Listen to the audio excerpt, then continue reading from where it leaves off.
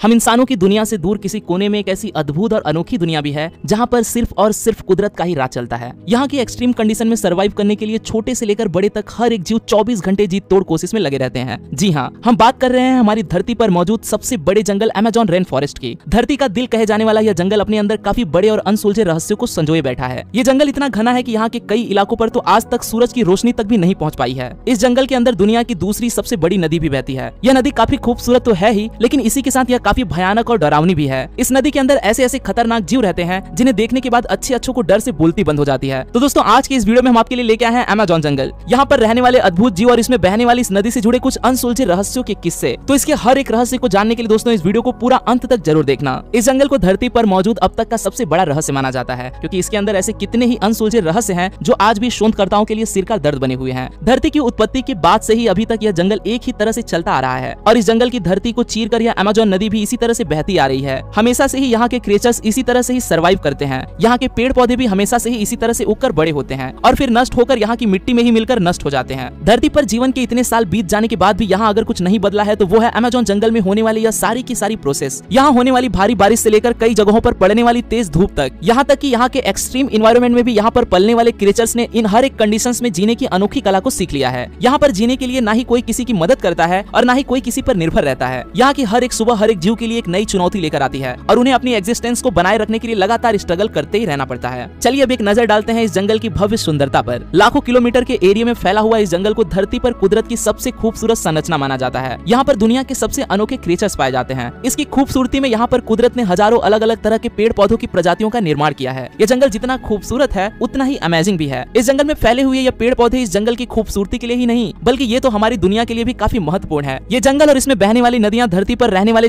ज़्यादातर जीव जंतुओं को अपनी गोद में आश्रय देने का काम करती है। अब ऐसे एक्स्ट्रॉर्डिनरी एनवायरमेंट में भी जीवन का संभव हो पाना अपने आप में काफ़ी बड़े आश्चर्य की बात है। यह जंगल ऐसे अनोखे और महत्वपूर्ण जीवों को सुरक्षित रखने का काम करता है, जो शायद अगर आज इंसान की नज़र में होते तो विलुप्त भी हो जाते। लेकिन यह जंगल ही है जो इन्हें कई हज़ारों सालों से इंसानों से बचाता आ रहा है। ऐसे में सिर्फ़ कुदरत से स्ट्रगल करना ही इन जीवों के लिए सर्वाइव करने का एक बड़ा चैलेंज बन जाता है। धरती के लंग्स है अमेजोन रेन फॉरेस्ट यह जंगल सिर्फ़ इन जानवरों के लिए ही नहीं, बल्कि हमारी धरती और हम इंसानों के लिए भी काफ़ी अहम भूमिका निभाती है। धरती पर कुल 20 प्रतिशत भी ज़्यादा ऑक्सीजन प्रदान करने में इस जंगल का ही हाथ है। वैसे तो इस जंगल में पाए जाने वाले पेड़ पौधे इतने ऊँचे और घने हैं कि ये सनलाइट को पूरी तरह से अपने आप में ही समेट लेते हैं और सूरज की रोशनी को इसकी धरती तक भी पहुँचने नहीं देते। लेकिन यही पेड़ इस जंगल के लिए एक तरह से फ्यूल का भी काम करते हैं। यह पेड़ पौधे ही पूरी तरह से इस जंगल की ग्रोथ के लिए जिम्मेदार है। एक तरह से यह पूरा का पूरा जंगल इन पेड़ों पर ही टिका हुआ है। कहा जाता है की दुनिया के लगभग दस प्रतिशत भी ज़्यादा जीव इस जंगल में ही रहते हैं और ये तो वो जीव है जिनके बारे में अभी तक वैज्ञानिक पता लगा चुके हैं। लेकिन उनका मानना है की अभी भी इस जंगल में इससे कई ज़्यादा अनदेखे जीव भी मौजूद हैं, जो समय समय पर इंसान की नज़र के सामने आकर उन्हें चौंका देते हैं। इस जंगल की विशालता का पता यहीं से लगाया जा सकता है कि यहाँ वैज्ञानिक हर तीन दिन में एक नए जीव की खोज कर निकालते हैं। आपको यह जानकर हैरानी होगी कि यह जंगल इतना बड़ा है कि यह ब्राज़ील, पेरू, कोलंबिया और वेनेजुएला जैसे नौ बड़े देशों तक फैला हुआ है। अमेजोन रिवर का महत्व। अब ऐसा भी नहीं है की धरती को अमेजोन की ज़रूरत सिर्फ़ यहाँ के पेड़ पौधों के लिए ही है, बल्कि यहाँ की नदियाँ भी हमारी धरती और हम इंसानों के लिए उतना ही ज़रूरी है जितना की ये जंगल। इस जंगल से होकर गुजरने वाली हज़ारों किलोमीटर के एरिया में बहने वाली अमेजोन रिवर को धरती की लाइफ भी माना जाता है। सिर्फ़ अमेजोन रिवर ही नहीं, बल्कि इसके साथ ही इसकी कुछ सहायक नदियाँ भी हैं, जो इस जंगल की जरूरतों को तो पूरा करती ही हैं, बल्कि यह तो हमारी धरती को साफ़ पानी उपलब्ध कराने के साथ साथ इसमें रहने वाले जीवों को एक सिक्योर इन्वायरमेंट भी प्रोवाइड कराती है। अमेजोन रिवर इस पूरे जंगल में से होते हुए ब्राज़ील से होकर अटलांटिक ओशन में जा मिलती है, और ये रिवर जुड़ी हुई है इसकी एक हज़ार से भी ज़्यादा सहायक नदियों से।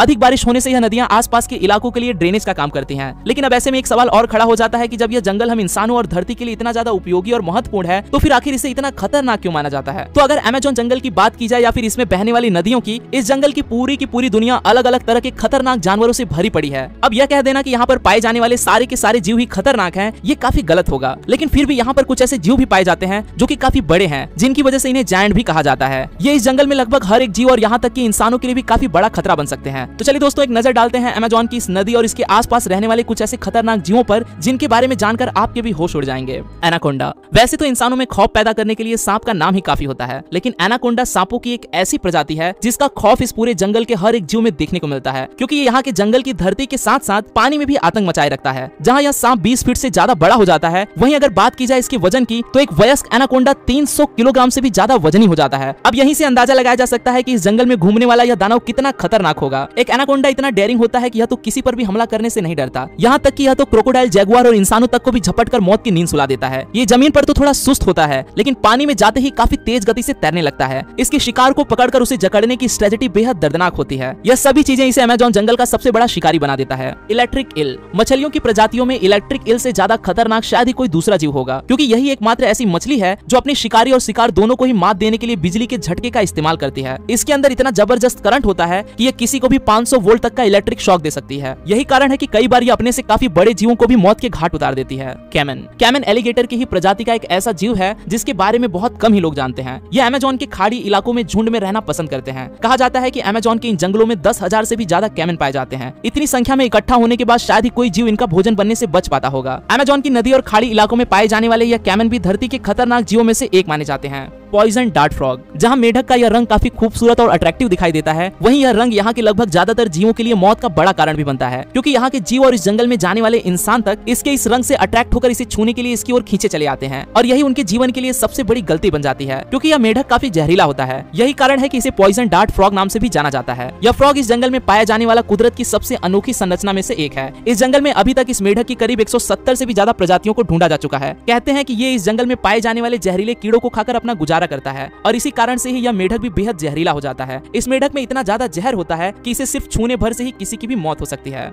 रेड बैलिड पिरान्ना इस जंगल में पाई जाने वाली खतरनाक मछलियों में से एक पिरान्ना भी है। यह मछली इतनी खतरनाक होती है कि अब तक इसके ऊपर तो कई सारी मूवीज़ भी बनाई जा चुकी हैं। यह मछली बदनाम है अपने हमला करने की आक्रामक तरीके के लिए। वैसे तो यह मछली ज़्यादातर प्लांट मरे हुए जीव और इंसेक्ट्स को ही खाकर गुजारा करती है, लेकिन कई बार कुछ ऐसे किस्से भी सुनने आए हैं, जब इन्होंने इंसानों को खाकर उनकी हड्डियों तक को भी चकनाचूर कर दिया। इनके ये तेज धार वाले नौकीले दांत मांस को चीर फाड़ करने के लिए ही बने हैं। और इन मछलियों का झुंड तो किसी बड़े खतरनाक जीव से भी ज़्यादा खतरनाक माना जाता है। यही कारण है कि इस मछली का भी इस जंगल में काफ़ी आतंक है। बुल शार्क, एक शार्क कितनी खतरनाक मछली होती है, यह बात तो सारे जग में ज़ाहिर है। लेकिन अमेजोन की नदियों में पाई जाने वाली बुल शार्क तो बेहद ही खतरनाक होती है। यह शार्क बदनाम है इंसानों का शिकार करने के लिए। इसका आकार बारह फीट तक लंबा हो जाता है। यह देखने में तो खतरनाक लगती ही है। ठीक इसी प्रकार से इसका नेचर भी काफ़ी अग्रेसिव होता है। यह पानी में तैरने वाले लगभग हर एक तरह के जीव पर देखते ही हमला कर देती है। कई बार तो इसे डॉल्फिन और कई तरह के मैमल्स को भी अपना शिकार बनाते हुए देखा है। किसी भी जीव के लिए अमेजोन के इस खतरनाक शिकारी से बचकर रहना काफ़ी मुश्किल हो जाता है। तो दोस्तों, ये थी अमेजोन के इस जंगल और इस नदी से जुड़ी हुई कुछ इंटरेस्टिंग और अमेजिंग जानकारियाँ। हमें उम्मीद है कि आपने हमारी आज की इस वीडियो से कुछ न कुछ नया जाना और सीखा तो ज़रूर होगा। इस महत्वपूर्ण जानकारी को अपने दोस्तों के साथ साझा करने के लिए इस वीडियो को ज़्यादा से ज़्यादा शेयर करना न भूलें। और ऐसी ही और भी इंपॉर्टेंट इन्फॉर्मेशन से भरी वीडियोस को देखने के लिए हमारे चैनल को सब्सक्राइब कर बेल आइकॉन को ऑन करना न भूलें। अगर आपकी इस वीडियो से जुड़ी किसी तरह की कोई राय है या फिर किसी और टॉपिक पर आप कोई वीडियो चाहते हो तो मुझे कमेंट बॉक्स में ज़रूर बताएँ। मैं हूँ आपका दोस्त रोहित, फिर मिलता हूँ आपसे ऐसे ही एक और अमेजिंग वीडियो के साथ। तब तक के लिए नमस्कार।